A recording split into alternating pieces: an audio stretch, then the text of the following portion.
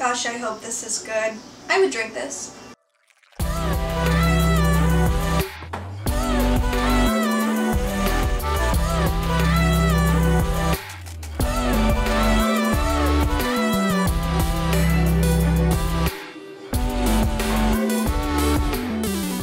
It's the Blend Challenge. Each competitor has received five delicious single origin coffees from our friends at Intelligentsia Coffee. Using at least three of the coffees, the baristas have to create their very own blend concept. They'll be judged on flavor, balance, synergy, and overall cup quality. So, who's judging this week?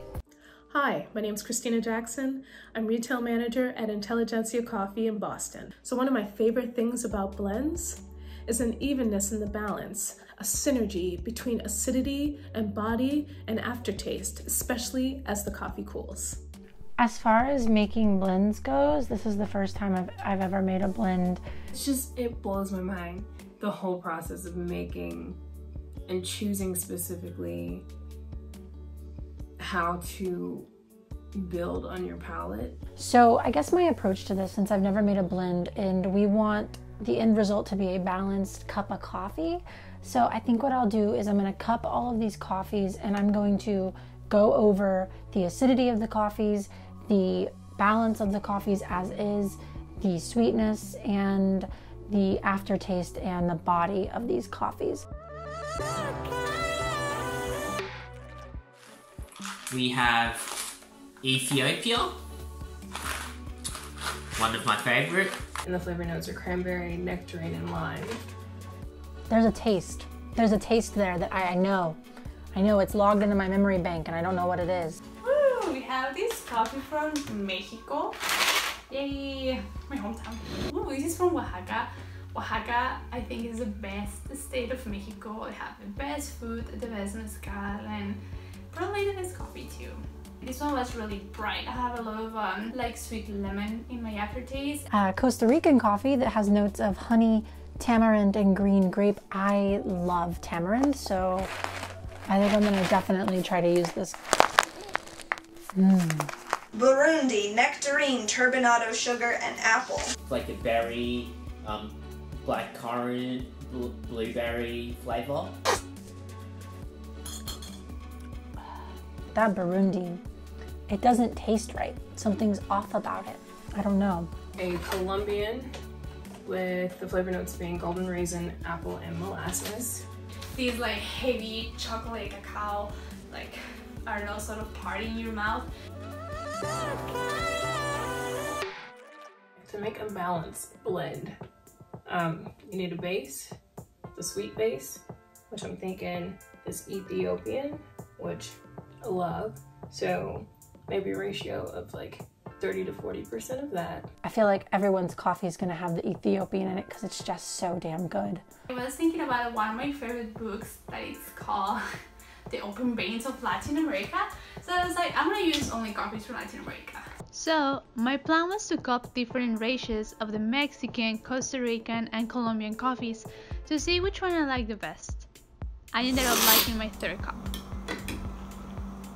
Well, that was really weird actually. Break the whole thing. Costa Rican, the Colombian, and the Mexico, or the Costa Rican, the Colombian, and the Ethiopian.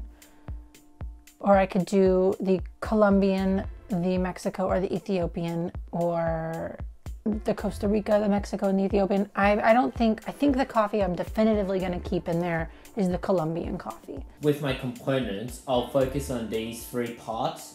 For the base, heavy. So something like a Brazilian nutty uh, balanced one. And you gotta have like that mid palate, that bridge that takes you from that first portion of the sip to the last portion of that taste profile. Um, so thinking doing a Colombian for that because I had a really nice just like flow to it. It just kind of moved very nicely. We want to have 15% Colombia in our blend. 15%. We're gonna have 70% Costa Rica and 15% Mexico. This is gonna be really good. I feel like these flavors balance so so good and I can't wait for my judge to try it. And for the high note, that like finishing piece of it, the cowbell according to Holly, which I absolutely love. I'm gonna call it that forever. Um, between 30 to 50% of that, and I'm gonna use the Mexican, I'm thinking. I used cupping spoons to measure out the percentages initially, and then I actually used the percentages to make an actual blend with the beans. Oh, I really like that. I think I'm just gonna stick with my my very first round, the one that I thought was the most tasty by tasting all of the coffees, which was the Costa Rican, Colombian, and Ethiopian at an equal ratio, uh, three part ratio. I have decided that the Costa Rica, the Colombia, and the Burundi are my winners. Um, I like the sweetness and the acidity of all of them, and I think together they can make a, a sum that's greater than its parts. And now it's time to decant and serve. So, now that Kristina has cupped all the blends, let's find out who made a coffee worthy of straight sixes and who probably would have been better off serving single origin. Who do you think? It's a Costa Ethiopian coffee made with love, just like babies. You know? Emilee, your coffee had a lot of potential. There was a pointed cranberry acidity that really grabbed my attention.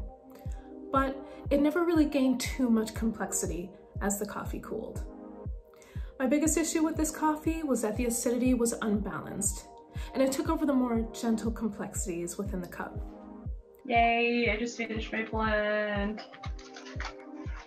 Inspired by this book from Eduardo Galeano, The Open Veins of Latin America, a coffee that talks about cheap labor for quality coffee and the exploitation of the coffee farms in Latin America.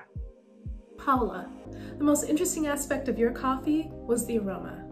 I got notes of caramel candy and honey, just straight up sweet. The body was generally rounded and soft, but the coffee got a little bit salty as it cooled, and the aroma didn't quite translate into the flavors. So this is my blend, gingerbread blend. The taste is prune, blueberry, and butterscotch. Ken, your coffee was really interesting. It was the most well balanced out of the group, but not super complex. I would have loved to get a more present acidity out of this cup. This is my blend. It's called It Takes Three to Tango. it's a coffee about threesomes. Miranda, this was a really great blend. This is something that I like to call chuggable. I got some great flavor notes of juicy red apple, brown sugar, and I got a very present Meyer lemon aroma. My only negative is that the coffee got a little bit dry as it cooled. His fingers crossed it's somewhat palatable. and the winner for this week is LaChrista. Well done. So this was definitely my top pick. I got hints of applesauce, graham cracker, and red pear. The body was warm and round. It had a smooth, creamy finish, kind of like oat milk. I would say that fresh apple bite of the Colombian coffee paired with that smooth honey finish from the Mexican coffee worked in tandem for an awesome blend. I am so surprised and excited. I'm glad that it was enjoyed. I'm stunned and excited. That challenge was so exciting for me. Never thought about blending before and glad that I got a chance. Congratulations, baristas, and well done to all of you. I hope you'll continue on your journey to make extraordinary coffee. LaChrista is our blend master with 5 out of 5. That moves her up to 16 points. Emilee and Ken maintain their lead, but only by a hair. With only three episodes left till the final, who do you think will be crowned the champion of the Barista League Online? And who might have a trick or two up their sleeve? We'll see. Shout out to all of our baristas and a huge thank you to Kristina Jackson and the team at Intelligentsia. I'm feeling a little inspired to create my own blend. How about you? What do you look for in a great blend? Leave a note in the comments. And next week on the Barista League Online, it's the Latte Art Challenge. It may not be spring, but it's always tulip season behind the bar. So make sure you're subscribed and turn on notifications so you don't miss out. See you then.